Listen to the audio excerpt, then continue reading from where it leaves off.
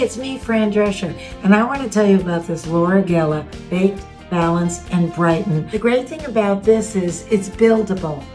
One layer is light coverage, but then the more you add it on, the more coverage you get.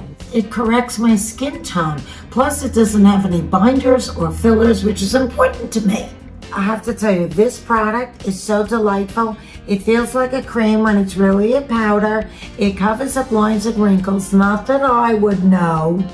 And it lasts all day. I just love it.